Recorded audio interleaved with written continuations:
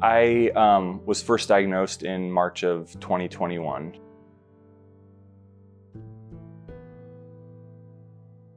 The weight of everything with just life in general, but then also now this extra pressure and, an extra, you know, added stress, it, it does make it difficult.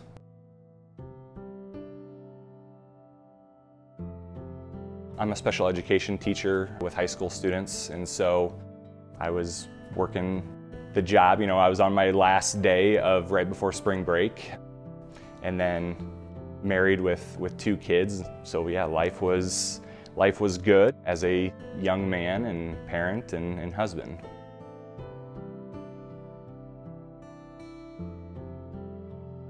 I had a pain in my side and put up with it for about a week and we were actually supposed to go on a family trip uh, for spring break. And so this was right before spring break, and my wife said, you know, why don't you just go into the ER? I was thinking it was indigestion, um, gas, something like that. I said, go straight to the ER, it'll be the quickest.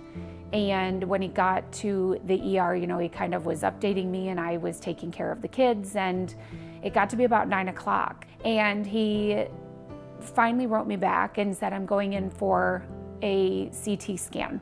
They found blood clots, a couple different blood clots um, to my spleen, and that was what was causing the pain. And then what was also discovered at the same time was um, a mass on the tail of my pancreas. We did not go on vacation because I actually stayed in the hospital for um, two days.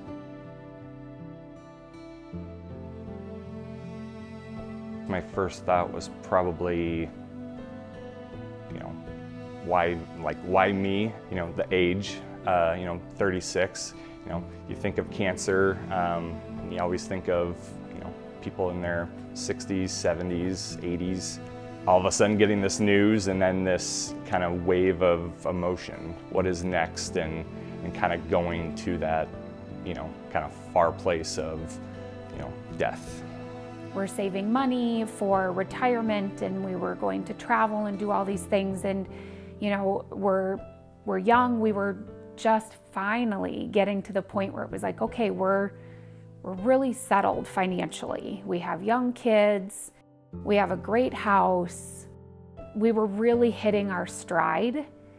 And this definitely, you know, knocked us for a loop. Anybody with cancer in um, the immediate family knows how expensive it is. Everything was okay to now this huge health factor um, that kind of changed everything and has changed these past two years. Now there's going to a lot more doctor's appointments. You know, I was you know, pretty healthy before. I would see the doctor, you know, kind of once a year for a physical, and now I'm, you know, in there multiple times per week.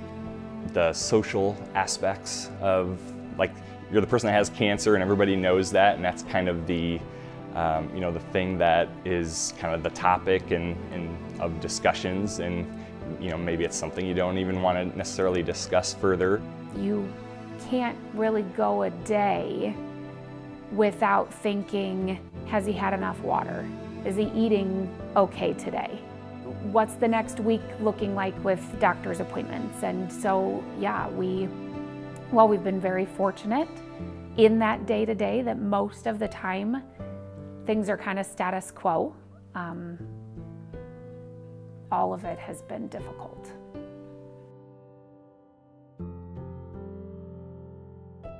Just knowing as much as you know, kind of I did about it with my uncle, uh, it wasn't a surprise, but you know, just it's I learned a lot more about um, genetics and the you know mutations and all that as well too, you know, through this process. The genetic mutation and having BRCA has helped with treatment and different treatment options. All of his, uh, you know, my cousins, his his uh, daughters and and son have gotten tested, and then their kids as well too. So, and some have had the the BRCA and some have not.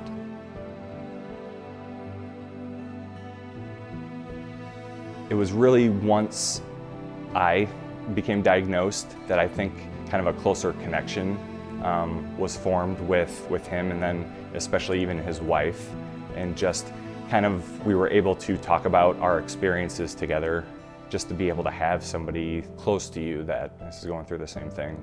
You know, did bring us closer together, you know, the last few years before he passed away.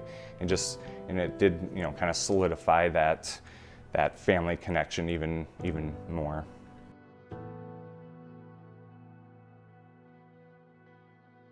There have been things that you know, I've done to try to alleviate that and, you know, kind of through some, uh, you know, journaling and, and kind of doing that and then also kind of meeting with some survivors as well too. Advocacy has, has kind of given all of this a little bit more purpose.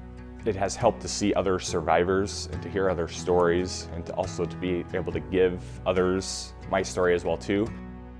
I started reading a lot more, um, something that just kind of you know, get focused on kind of somebody else's life, whether it's a, you know, a biography or something that's, you know, a fiction story and just kind of escape that, you know, kind of that what's going on in your own life. You know, I still have my work life, I still have my personal life, and is it interrupted? Sure, but it's, I still have a part that is separate from cancer.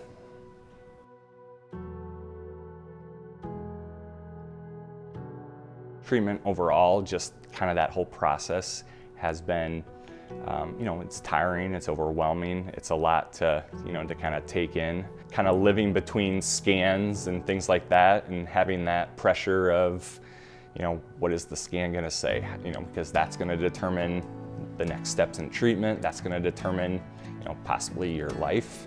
Integrative medicine is something that we have um, started to combat the um, side effects and to also um, you know, be able to handle the, the cancer and keep the body in, in the best shape and condition as possible. And so I do believe that that has helped to still be here 50 years from now um, would be great. And, um, but also I think I would love to see advances in, in cancer and pancreatic cancer specifically, as little attention as it gets, it's, it, it impacts quite a few lives and many of us are examples of that. And so, you know, with groups like Project Purple, I think there's, it's, things are becoming, are getting better for sure. And hopefully with, you know, um, increased attention and, you know, that can lead to early testing, that can lead to more clinical trials, and hopefully just, you know, getting the word out there that there can be some real changes coming up.